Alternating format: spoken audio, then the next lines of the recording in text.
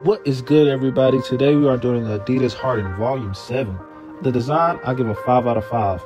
The design has a textile upper inspired by Puffer Coat and Lightstrike in a forefoot. It also sits on top of a popular model outsole with dual herringbone and bone radial patterns.